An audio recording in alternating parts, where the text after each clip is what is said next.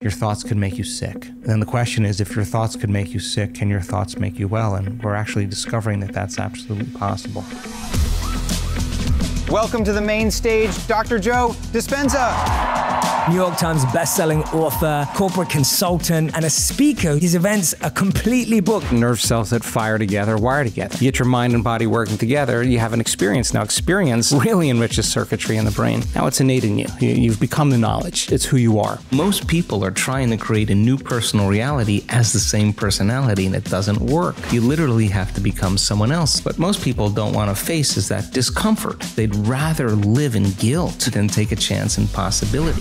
The 10th annual biohacking conference is happening in Dallas, May 30th to June 1st. We're talking the best speakers, the best toys to play with, the latest in biohacking. This is a life changing event. It's an experience, and you learn some cool stuff. See you at the conference.